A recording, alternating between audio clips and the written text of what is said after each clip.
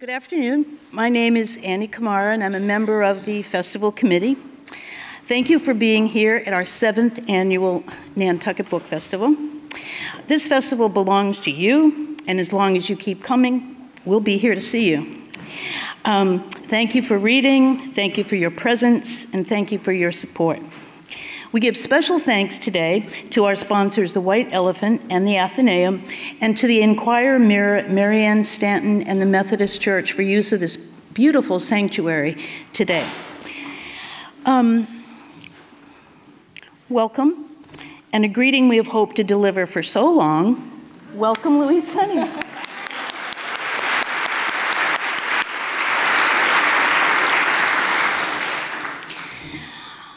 feel so fortunate that she is here this weekend and the rain is uh, going away.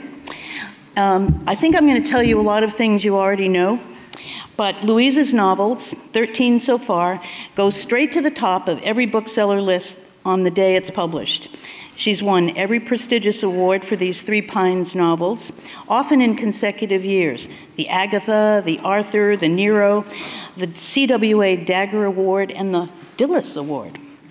Um, her novels are published in 25 languages, and in 2017, she received the Order of Canada for her contribution to Canadian culture.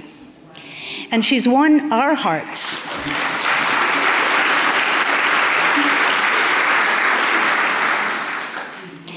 And she's won our hearts with the creation of Armand Gamache, Reine Marie, their families, their colleagues, and the townspeople of Three Pines. Um, we're also giddy when we learn the um, pub date of the next one, which, by the way, is November 27th when The Kingdom of the Blind is in bookstores.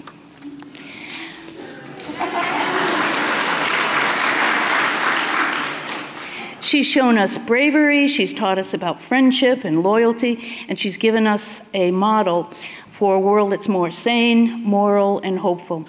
We come a little bit better when we read one of her novels. And now she's here with us. Please welcome her to the podium, Louise Penny.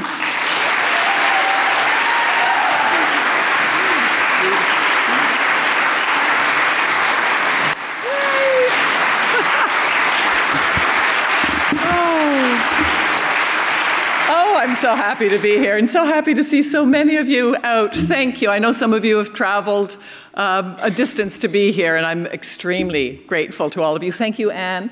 Thank you to the uh, Nantucket Book Festival. They've issued this invitation a few years, and I wasn't able to come the last couple of years, but they kept up, and as soon as I could come, I think it was the first one I said yes to. To be honest, I'm not even sure they reissued the invitation, but here I am. and to Maddie Holstrom. Maddie's one of the organizers of the festival. I, I don't know if you know her.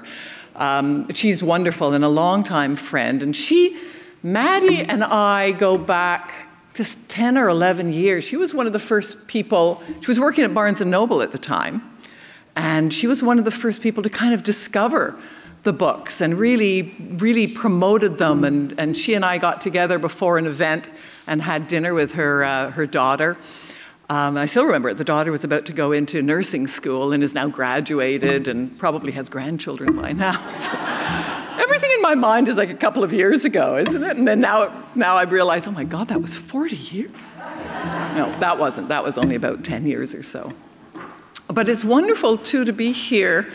First of all, I'm having a blast. I think I've bought Nantucket.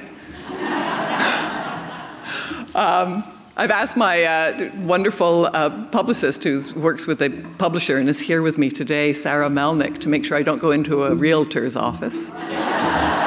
However, having walked by a realtor's office and paused and seen all the numbers, first I thought it was a telephone number, and it turns out the price. But when Maddie and I first got together, and, and she, she came to a few events, and there were, you know, like, I don't know, two or three people, five or six. Then the next book there would be 10, and then the next book maybe 20 people. So to look out at all of you, I don't take it at all for granted. I'm absolutely overjoyed. Would you mind? does anybody here follow my Facebook? Ah, excellent. Well, guess who's going to be in it?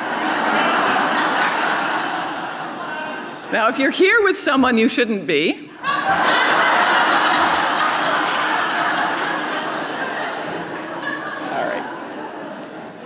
Oh, you're so attractive. Here we go, over here. Oh, now at least one person is ducking. Thank you. This is also to send to the publisher so he knows that I actually showed up. Speaking of the publisher, Still Life, I'll tell you how Still Life came about uh, in, in just a moment, but, um, which is the first of the Gamache books. Um, and, and eventually, what I'd like to do is open it up for, for questions, because that's actually my favorite part of, of these um, gatherings.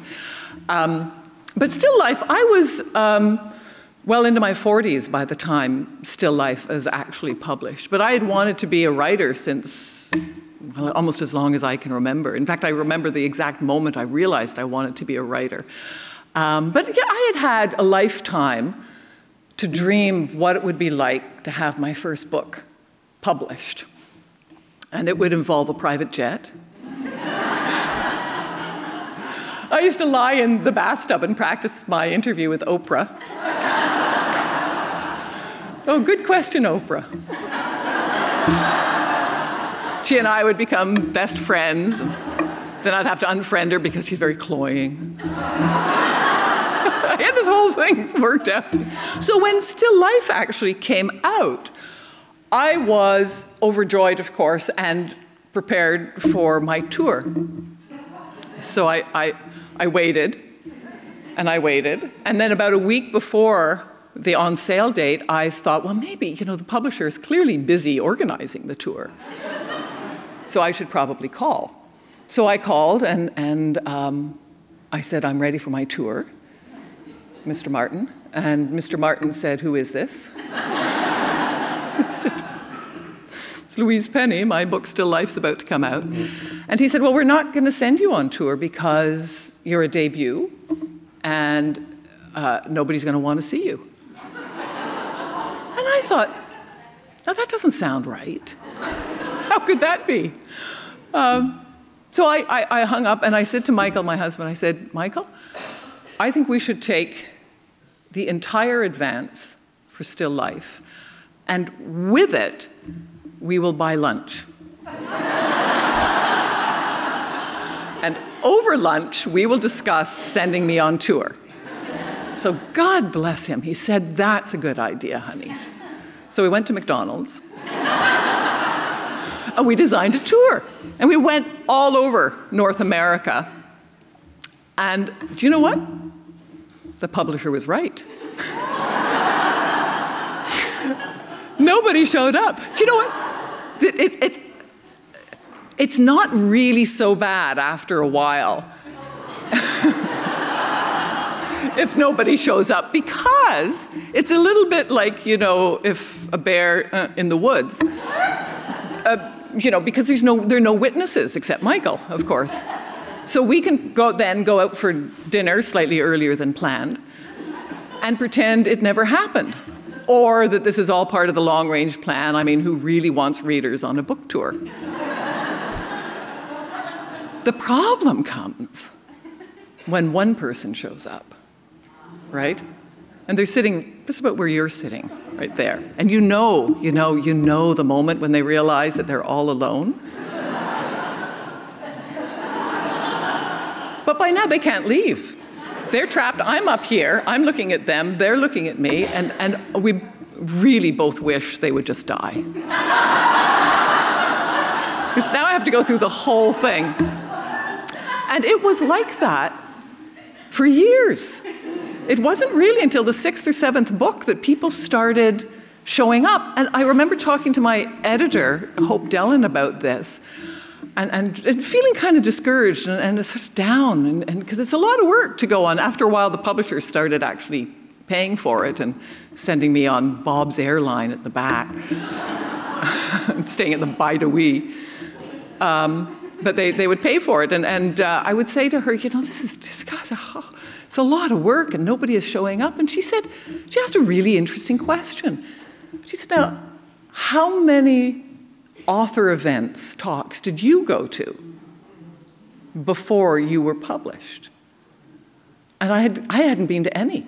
And I'm a voracious reader and a huge fan of, of writers, and I hadn't been to any. So then it's, I began to really appreciate the one person who does show up, or the two, or the three, or the hundred. So, you know, again, I am triply thrilled to be here, and, and even more thrilled that you're here. Let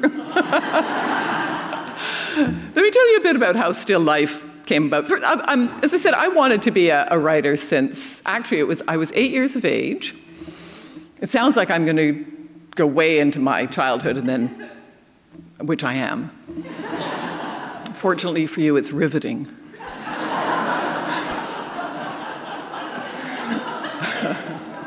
So I was eight years of age, and I, I, was a very fearful child. I was afraid of everything. I was afraid of bugs, I was afraid of heights, I was afraid of holes, I was afraid of night and day, really afraid of other children. But my cardinal fear, and I don't think this is unusual, you might have suffered from it as well, was a fear of spiders. I was petrified of spiders. Um, and I used to just, the only place I felt safe and sovereign was in my bedroom. I used to just love lying on the bed with a book. And to be honest with you, it's still my favorite place in the world. Michael used to call me a horizontalist. I was either always trying to put my feet up in a bathtub, on a hassock, in the bed. Um, but I was eight years of age, and I was, I was sitting on the bedspread, and I could still feel it nubbly underneath, and reading Charlotte's Web. It's possible I was a slightly slow child, because about halfway through Charlotte's Web before I realized.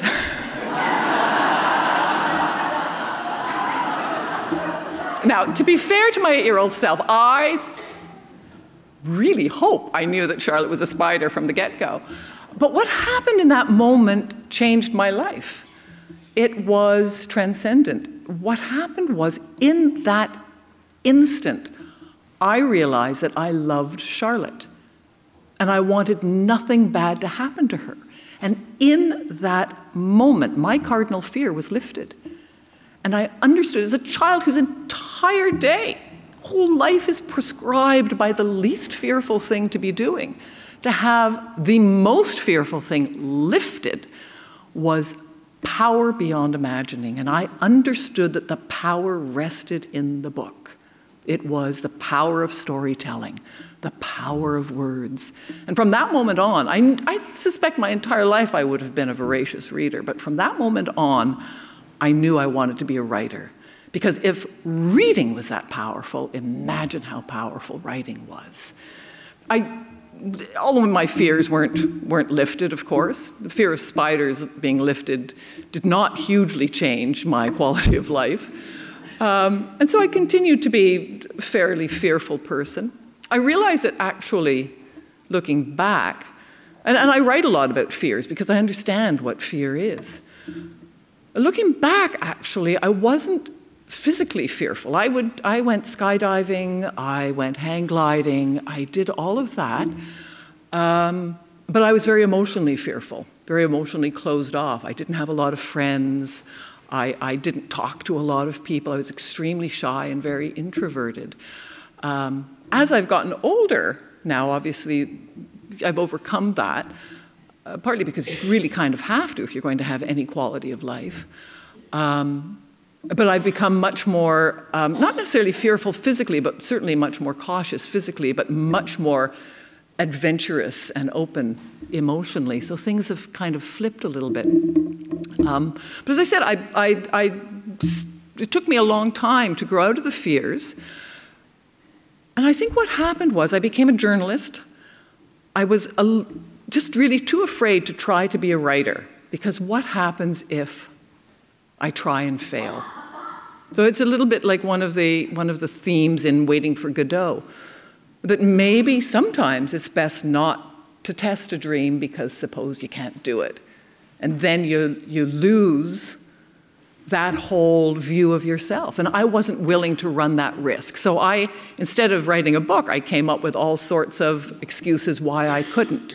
I'm too busy, I'm too tired, I've got too many other things happening, on and on and on, all of which were fairly legitimate. But we all know if you really, really want to do something, you'll do it. And what I really, really wanted to do was come up with excuses. Uh, I became a journalist, which was close, close enough that I could sort of fool myself that I was still, was still a storyteller, some of which was fact. Most of it was fact. I worked at the CBC. Um, but I wasn't writing the book. Um, and then I, I, reached a certain age, and I think many, I mean, my experience obviously is as a woman and women friends, and I suspect we all do, where I was 35 and I looked at where I was in my life and realized I hadn't achieved what I had hoped I would achieve, what my eight year old self thought, where my eight year old self thought I would be at 35. Um, and so things had to change. And eventually they did. And I can go into that later if you have any questions about, about how that transition happened. Um, but I met Michael. We fell in love and, and got married. And lovely man. What he did was at some stage, I came out back from working one, one day and this was, as I said, with the Canadian Broadcasting Corporation. If you know anything about Canadian or Quebec politics, I was sort of front line for a lot of the political debates on Quebec sovereignty. And, nobody came out of that unbruised, no matter what side you were on. The final vote for sovereignty, it was actually against sovereignty. Quebec wanted to break away. But it was a razor's edge vote. And it, it, genuinely could have gone either way. And I was hosting the national coverage of this. And just before we went to air, before the polls closed, we had a call from, or one of the researchers had a call from his father, who was very high up in the no camp, which was do not separate. It was a federalist camp. And he said, We're going to lose. Quebec's going to separate. I just want you to be prepared for that. And they pass that on. And generally, as a journalist, you try to separate yourself from, from that and, and separate the intellect from the emotion. But that was a, a body blow I'm, I'm not sure anyone ever recovered from, even though we eventually won, but it was just so close. And, and it was shattering, as I said, for everyone. And I came away from that night somewhat different than I went into it.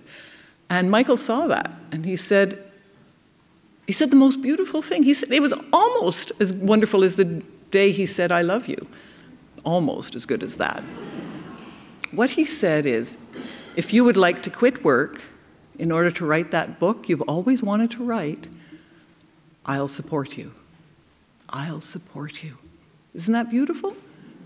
And he meant it. Thank God he meant financially.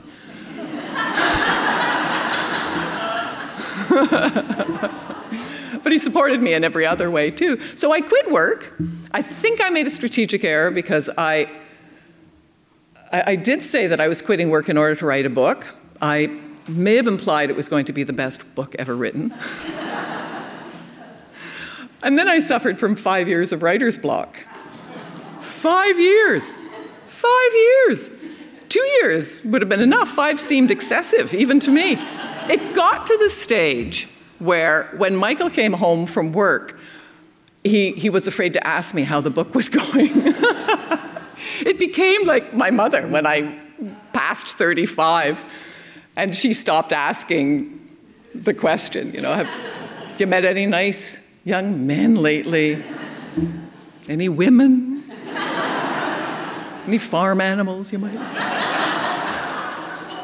So Michael got to that stage too, where he just he was afraid to ask. Um, and then a number of things happened. As a journalist, I just want to make sure I'm um, watching the time. Oh. um, as, as, a journalist, and having covered a number of accidents and, and bad things that happen, and then you do the, the post mortem on it, of course, as a journalist, you try to figure out why something happened. And these things often appear to come out of the blue, whatever has happened. Um, but once you take a closer look at it, clearly they haven't come out of the blue. There's three or four or five. It's a series, it's a parade of smaller events, often overlooked, that had to fall into place exactly as it fell into place in order for it to happen. And, you know, had you turned left instead of right, had you left the house five minutes later or earlier, had you been wearing red instead of black, these things wouldn't have happened. Um, but the same with wonderful events, too, when you start taking a look back, all the things that had to, all the stars that had to align for wonderful things to happen. And I look back on how still life, how, how that started. Never mind, actually got published, but how do you start a book? How do you break the writer's block? And a few things had to happen. Michael and I were living in Montreal um, at the time, and we ended up moving outside of Montreal to a village some of you might recognize, south of Montreal, north of the Vermont border. Um, so that was very helpful. And then I fell in with a group of women, all of whom are extremely creative writers, but, but poets, painters, dancers, actors, um, all sorts of musicians. They, they did uh, just a, a range of things. And, but as you know, and as I've learned, creativity sprouts all sorts of different ways, but the taproot is essentially the same. And so they formed this group of women, not, not big, I think there was five or six of us at the time, um, called Les Girls. And we would get together once a month and we would talk about the process, how it was going, problems they were having, challenges they were having, why something was working, why something wasn't working didn't give each other advice unless it was asked for. It was just listening to how the process goes. And they invited me to join them, which is extremely generous because I actually wasn't writing at the time. And I said, I'm, I, I, I'm not writing a book. And they said, Well, are you a writer? And that was a really interesting question. And I thought about it and I said, Yes, I think I am. And they said, Then you're, you're welcome to join us. Isn't that amazing? So I've learned in my life, not simply as a, in professional, but in my personal life, to be very, not everyone has to do this, but I do, be very careful about the people I choose to have around me. And so I am very careful. And I was very lucky to be surrounded at that moment by, and going forward too, by extraordinarily brave women and gifted women you, you, probably won't see their names up in lights anywhere or buy their books or paintings or go to their concerts, but, but gifted and brave, and I needed that.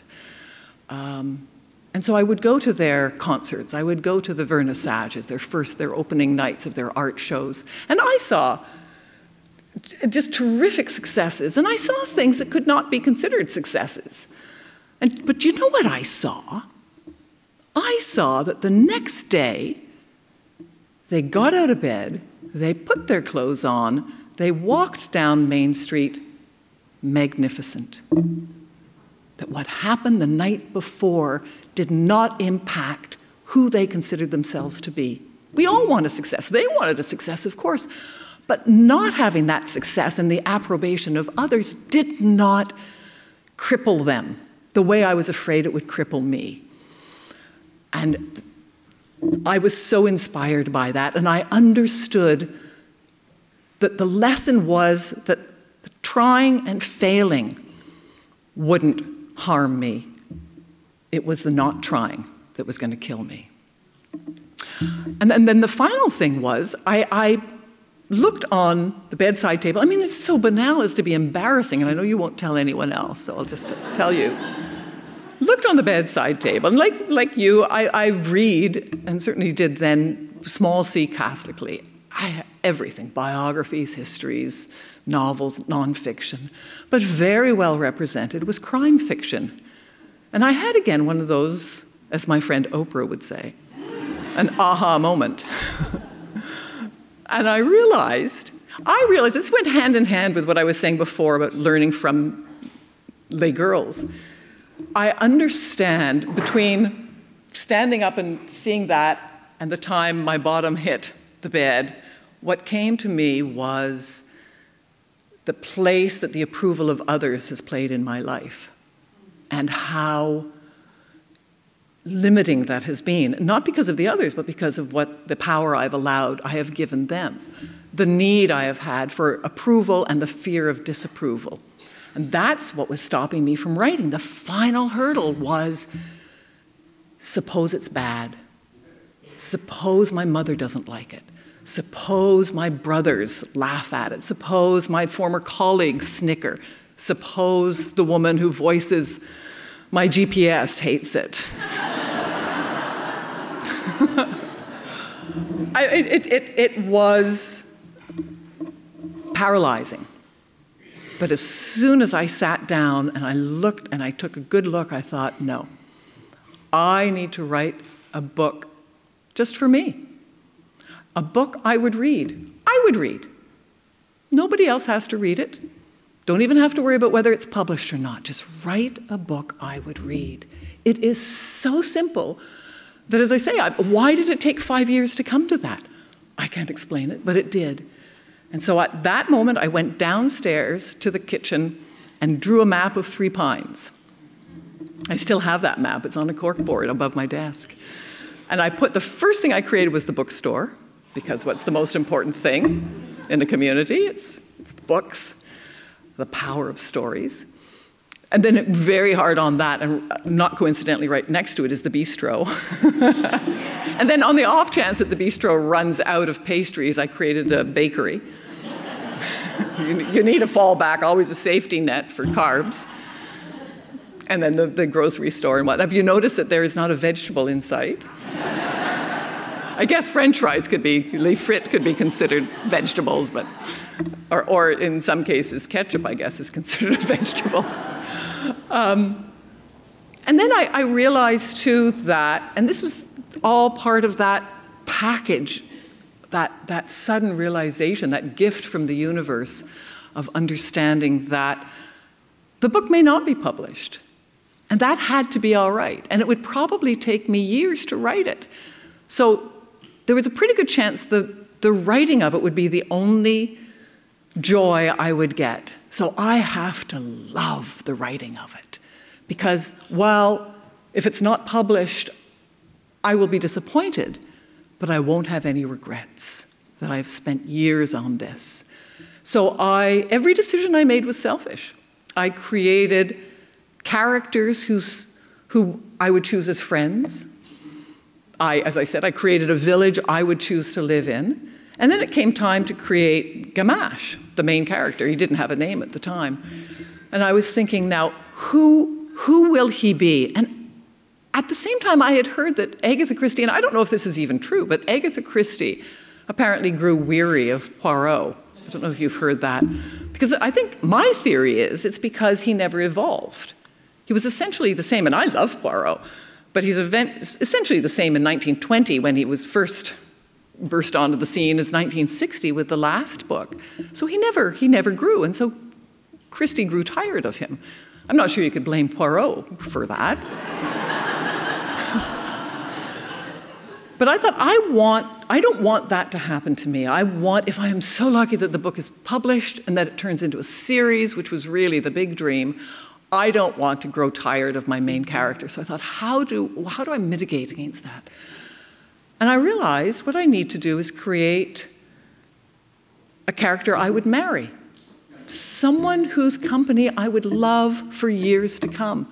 So I was pretty chuffed with this, and I was starting to write the book, and I had character sketches all written out. And I came down for breakfast one day, and Michael was, was at the table, and he was talking about world peace or something like that.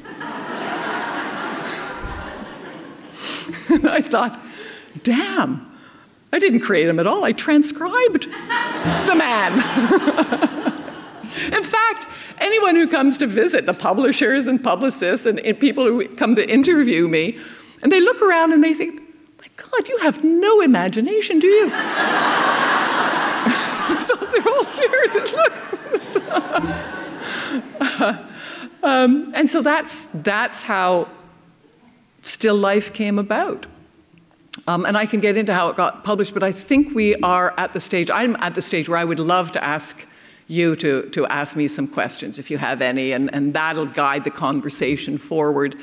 Um, the only thing I would ask is, if you do have questions, is to, because the, the books now are so intertwined, um, that you not ask a question that will ruin a book for someone else. It's not also simply you know, why was so and so the murderer, which is not a good thing to ask but also, you know, why did so and so become an astronaut and get shot into outer space or whatever? You know, just the character development. Try not to ask about that either. Um, so, does, are there any questions? Yes, at the back. Oh. Did you hear the question? Um, she wonders about the pet duck. the pet duck was not planned for until, until I wrote that sentence that the duck was not in the book or anywhere close to that village. And that's part of the fun of writing is those unexpected moments and following a lot doesn't end up in the final draft, but just sort of say, well, what about this? Let's just try that, suppose that. That doesn't work, so you just end up dropping that or dropping this or using it in another book or bringing it in a little bit later. Um, the thing with Ruth, Ruth is this, this wizened, drunken, disorderly, old, embittered poet um, who, who acts as a kind of a um, Greek chorus for the, for the village. And I realized one of the dangers is having, because I wanted to populate with people I would choose as friends, and I don't normally choose horrific people as friends. So there was a danger that it would just be too, filled with too many just nice people. Um, so I wanted a kind of a counterpoint to that. But I, it was also important to me that while the nice people have darkness, it was important to me that Ruth have a saving grace. And her saving grace is a degree of self awareness um, that comes out in her poetry. But Ruth is kind of born inside out. The books are about many things, as you know, least of which is probably murder. It's about life, it's about choices, about community, about the power of friendship, our yearning for belonging. It's about love in all of its forms. And it's about duality. It's about the beautiful setting and the horrific crime. Uh, it's about the public face that we all have, the veneer that we all have, and thank God we do, of civility, and then the inner turmoil, the gap between what we are feeling and what we're saying. And Ruth is sort of born inside out. She keeps all of her civility very well hidden. and on the outside are all of her more venile thoughts. Um, she has absolutely no ability to edit herself. So, when in the third book, The Cruelest Month, each of the first four books is intentionally set in a different season because I wanted Quebec to be a character as well. And I wanted people who are reading it, again, if I'm lucky enough to be published, if they're reading it in Sri Lanka, to get a sense, if they read the first four books in order, of what it's like to live in Quebec for a year. So you get the, the different, not only the different climates, but the different scents, the different smells. I wanted the books to be very sensuous in that regard, not sexual, but sensuous. Um, I've forgotten what I was going to say. the duck, yes. Oh, I know. I know. um, so I wanted each of the first four books to be set in a different season, and the third book was set at Easter, uh, obviously the spring. And the village had just had a, a, an Easter egg hunt, and, and Ruth, being Ruth, has decided that she's going to beat the kids to it and pick up all the, all the chocolate eggs. And so she's looking around and she comes across this nest.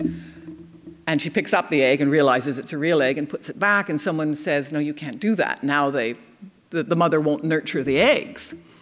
So Ruth takes the nest and she takes it back to her home, and everyone figures she's going to make an omelet. But in fact, what she does, and nobody realizes this, is she nurtures the two eggs. And that's, this is why Rosa is actually more of an allegory than, than a duck. duck as allegory. Who else comes up with that? I think Jane Austen had that in one of her books. um, when the ducks are hatching and just fighting their way out of the shells. Ruth, it hurts her so much to see this struggle, and she's so afraid that the duck won't make it because one of them in particular is just not, not quite doing it. And so she cracks the shell and helps it out. Uh, Lilium was the duck's name, uh, the little one. And, uh, and in helping that duck, she ends up hurting it because the duck needs the struggle in order to grow. And that's a, that's a real allegory for all our lives, isn't it? That we need the struggle in order to learn, in order to grow, in order to thrive. that duck couldn't thrive. And it just it breaks her heart when she sees, when she realizes what she's done. Um, and that's one of the reasons why Ruth is the way she is and why she pushes people away, is that every act of kindness she sees as hurting people she actually loves. So she tries to hold off acts of kindness. And what happened to Lilium just underscores that for her. But, but Rosa survives, the duck, the duckling, the little duckling. And not only does Rosa bond with Ruth, but Ruth bonds with Rosa. And so this, this embittered old thing now has a duck. So, but it's, it, it, it annoys me sometimes, and I understand why people do it when journalists write about my books, um, and they say, in The Mad Poet with the Duck. And I think, now, if I was reading that, I would think, I'm going to give that book a pass because it sounds just too ridiculous. And they don't understand the relationship and where it comes from and why it's there. Now, I dare someone to ask me another question.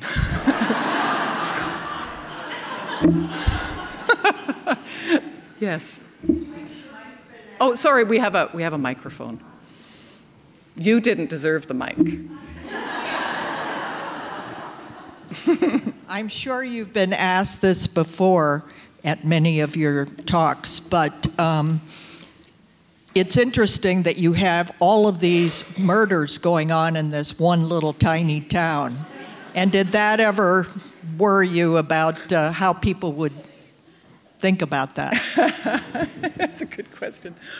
Um, yeah, that, that turned out to be a bit. You see, the thing is, the truth is, I genuinely did not think that, that the books would, would be published. I mean, I hoped, but I would have made Three Pines just a little bigger, I think. it struck me after about the, I think after the third book, um, because in fact the fourth book is set somewhere else. It's, there's still Three Pines characters and some of it goes back, but I realized after the third book that it, Three Pines would not sustain the murder rate. so, and, nor it was becoming increasingly difficult to call it idyllic when.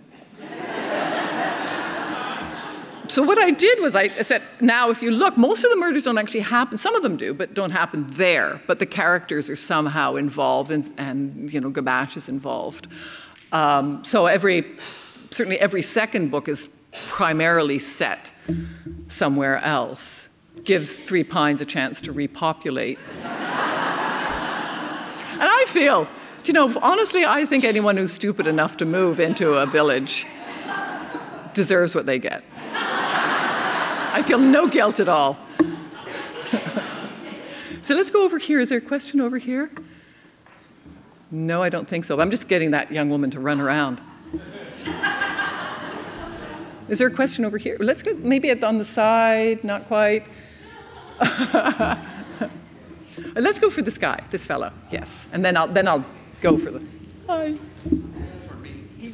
Oh! Aw, that's nice. Is it on? No? Yeah. Okay. In your book, the A Great Reckoning, uh, this, the central metaphor there is the map of three pines mm-hmm. that you mm-hmm. just referred to. What I was wondering is, what informs you? Like you, you made this map, and then you think, oh, I can build a novel around this like you did with the um, experience of the Dionne quintuplets. Right. And you, you can build a novel around that, and it branches out from that. But how does that happen? You know, you look yeah, at a no, still that's a, life. That's really interesting. I'm, I'm actually just writing now the 15th book. And some of it is written here, obviously, and not set in Nantucket, but written in Nantucket. So, um, and I, I was thinking about that. It's sometimes it's something really small. Sometimes it's a turn of phrase that I hear somewhere and think, I can literally build a book around that. It just, it just sparks an idea. Um, a, a, poetry. I, a lot of my books are inspired by poetry. I, I, I, suggest to emerging writers, whether they ask for my advice or not, I suggest that they read poetry. And I don't care, I don't, first of all, I don't care if they actually take the advice or not. Um, but I don't care if it's a greeting card or uh, Winnie the Pooh or my favorite happens to be Auden or anybody. It's just that poetry manages to get in, often in a stanza, what I struggle an entire book to get. So that, that can often start it. Um, the, the, the poets of the Great War, Sassoon and the others, um, moved me a lot. So they, I think that affected writing um, A Great Reckoning. So I think that's, that was the nugget for that. Yes? Now they won't talk without a microphone. Gets very. uh, I'm absolutely fascinated the way you talk about writing now, which is it's fun. You get inspiration from these other things. But having also been a journalist in the previous century, I knew how important deadlines are. Yes. Whether I wanted to write or not, I had to meet a deadline, and so one writes. Right. How do you, what is the discipline? What is the inspiration to keep you at it when you just, your characters are not behaving, you're writing. Uh, oh, you know, you know that feeling. is not there. Are you, are you writing a book or have you written uh, a book? That's or? not a fair question. I get to ask a question. Lock the doors. We're going to get an answer from her. now she hands back the microphone. Um, no, you're absolutely right. I was extremely lucky to have uh, started at an early age as a journalist and learned deadlines and learned discipline. Um, and that has served me in good stead. As you said, there, it, it is dreadful. It's almost every book, often somewhere in the middle. It's actually called the muddle in the middle, where you, you just you lose your way. The first, when you first start, you have the idea, you're excited, you have a push forward and then you hit the middle and you have all of this these ideas and things that are just sort of floating around and characters are, are, aren't sharp. Um, you know where you need to end up but you don't know how to get there. It's it is awful. And that's where you just sit down and write. What happened in this when i was writing the second book which was terrifying because nobody paid attention when i was writing the first only michael knew i was writing it and then the book sold. And I remember my, my agent phoning me up. Um, and she's British. And maybe as a Canadian, I hear it differently than other people. But whenever someone with a British accent speaks to me, there is an implied, you idiot.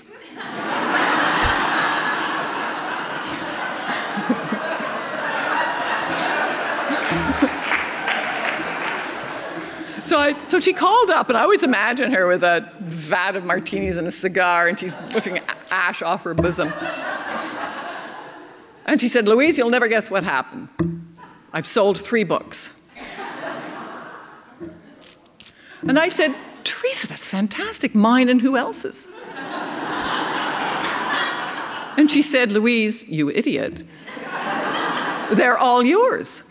And you have one year to write the next book. No, it took me 45 years to write the first. and I didn't even know how that happened, to be honest with you. It, like, like a, it was, it felt like a gift from God.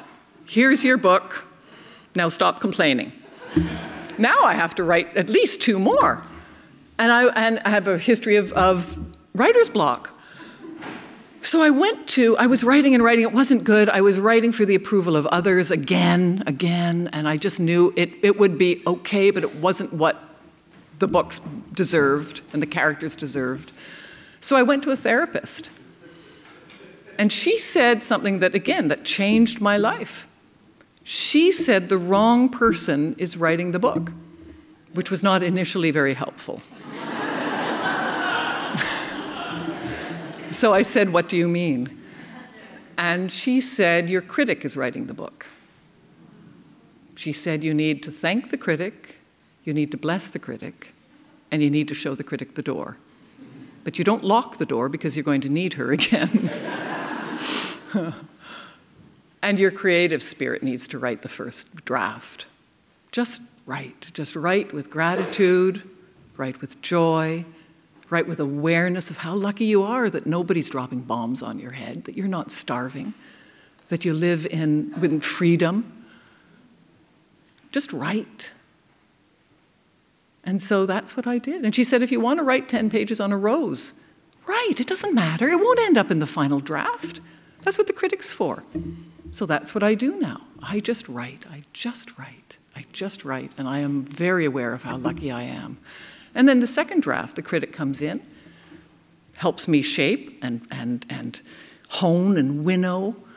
And then third draft and fourth draft. But that's, that's, that's what I do now. And I set a word count every day, thousand words. This morning, set the alarm, got up at six, wrote a thousand words. Tomorrow, set the alarm, get up at six, write a thousand words, then, then I come out into the world. It's a great life. One, we have time for one more question. There was someone over, did, was there someone over here? Yes, let's take, oh, a man. uh, down, oh, there, the person who's standing up. I've already observed that there are more women than men here. Yes, but the um, men who are here are, in the words of Spencer Tracy, churse. I have a question about the evolution or progression of your books, and I should add that I've read and enjoyed every one of them. Thank you. And I should also say that my sister is ecstatic that you've moved into her building in New York. Really? Yeah, yeah. Oh, what fun! So anyway, I'm, I'm, I'm, I'm reading all the books, and all of a sudden there comes a time when Monsieur Gamache must retire. Well, when he must be tired. Retire. Retired. Now, don't Yes. say too much, all right? So that people here who haven't read the books. Okay. All right, it's not ruined. Fair enough. But my question is Yes. I thought at that point that you had decided you were no longer going to write any more Gamache books. Right. Is that so? No.